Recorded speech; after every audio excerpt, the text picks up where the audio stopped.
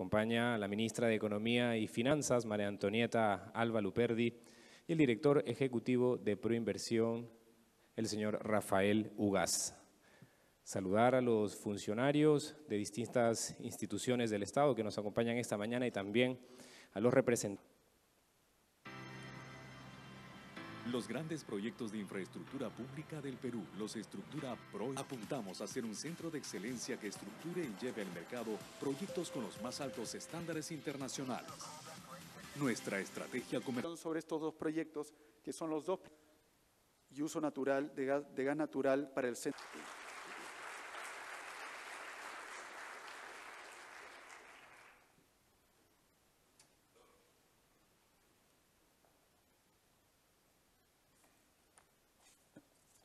Buenos días. Señorita Ministra de Economía y Finanzas, Director Ejecutivo de Proinversión, distinguidos invitados, amigas y amigos todos. Quiero iniciar mi intervención destacando y reconociendo la importante labor y sobre todo el nuevo impulso de Proinversión en el desarrollo de proyectos que nos permitirán avanzar en uno de los grandes objetivos, como es el cierre de brechas de infraestructura y con ello afianzar el crecimiento, el progreso y el bienestar de todos los peruanos.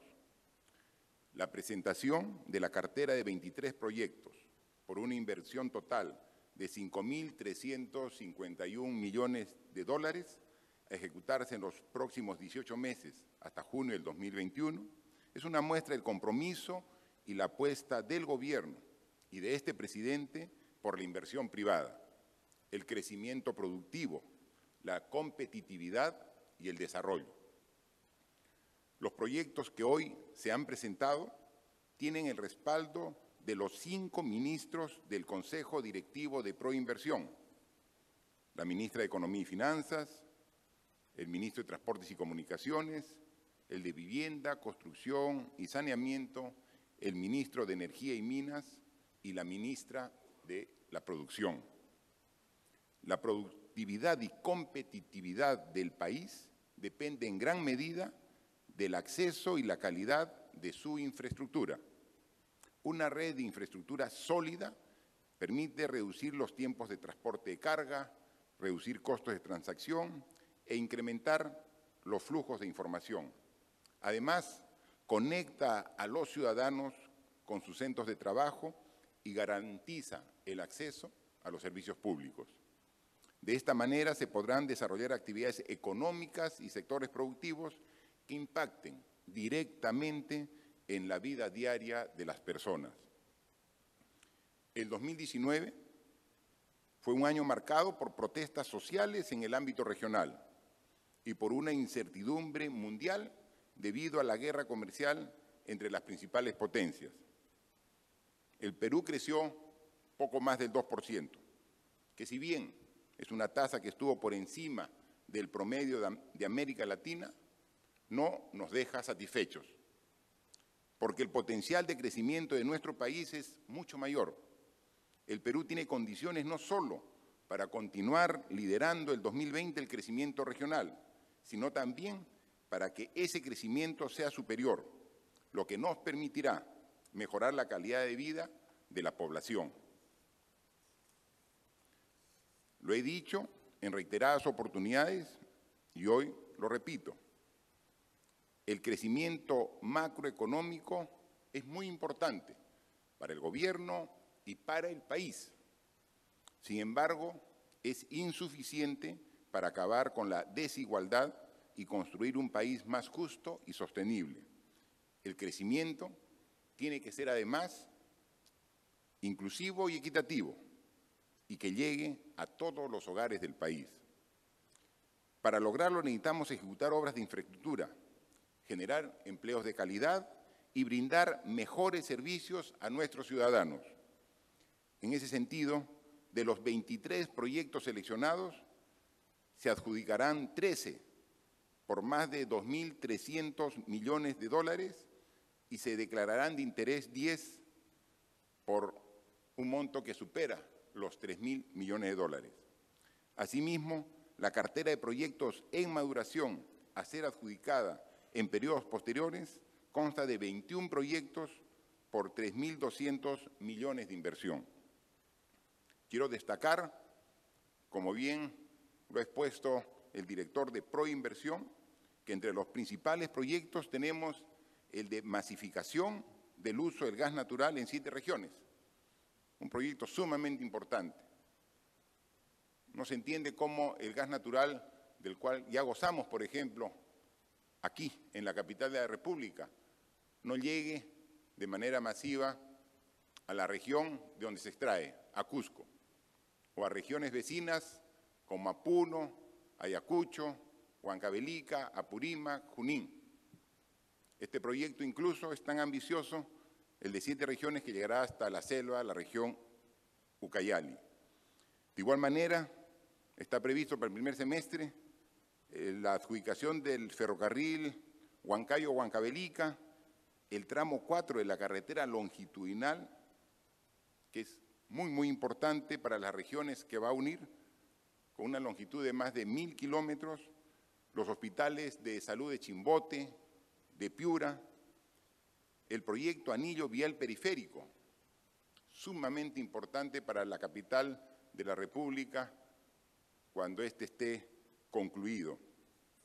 Proyectos de las obras de cabecera para asegurar el abastecimiento de agua potable para una ciudad de más de 10 millones de habitantes como es Lima, entre otros proyectos sumamente importantes para el Perú. Todas estas son obras que mejorarán la calidad de vida de nuestros ciudadanos, con el acceso al gas natural en los hogares, mejores vías de comunicación, mayor acceso a la salud, electrificación rural, agua potable, entre otros.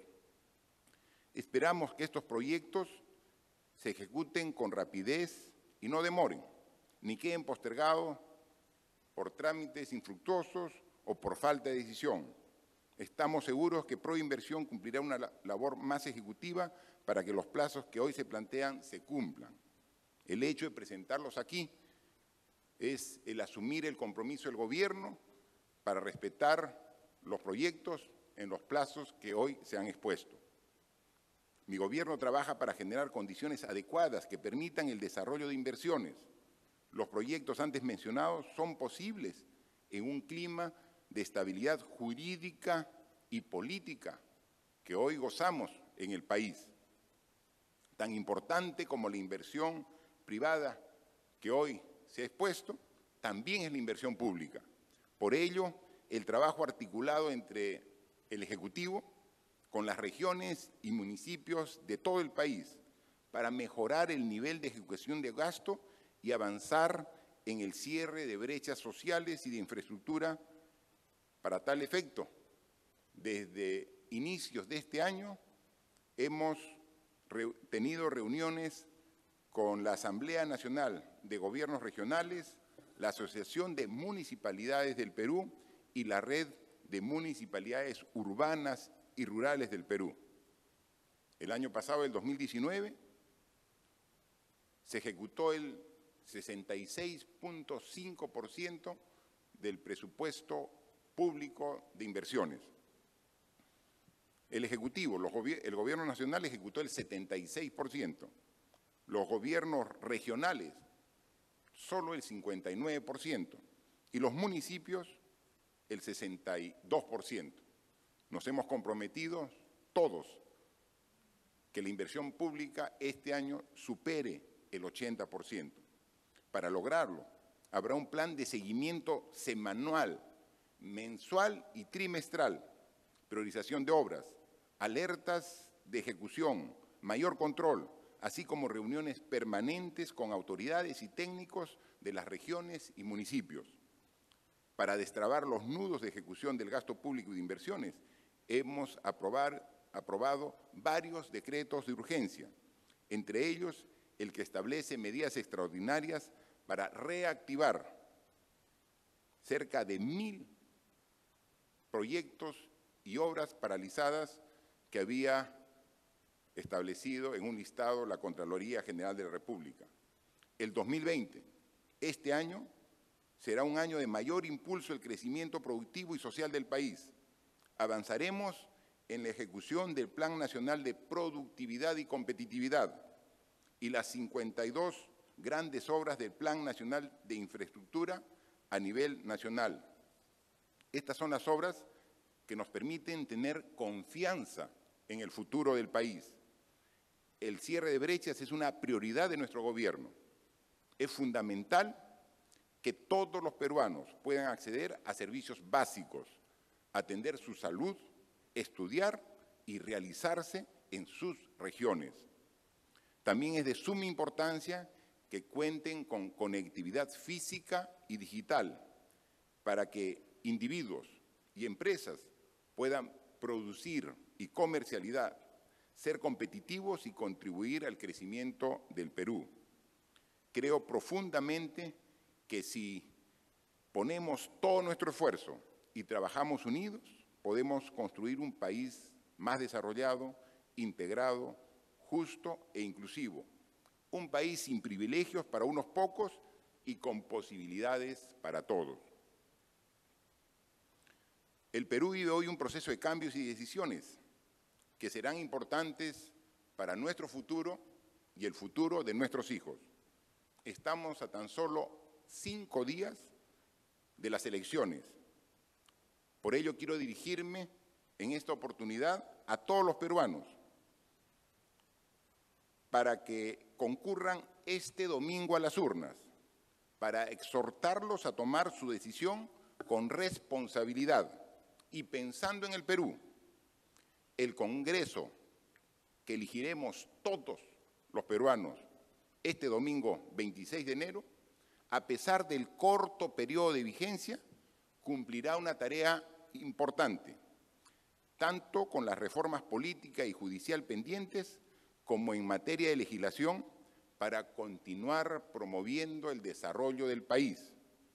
El acto de elegir es un derecho ciudadano, pero al mismo tiempo es una responsabilidad cívica con la patria. En los días que restan, la ciudadanía debe evaluar la hoja de vida y las propuestas de los candidatos, de los partidos políticos, a fin de emitir un voto responsable. Así, todos fortalecemos la democracia y las instituciones. Por último, exhorto a todos que sigamos promoviendo las inversiones, fortaleciendo las instituciones y la democracia, luchando contra la corrupción y mejorando la calidad de vida de todos los peruanos. Muchas gracias.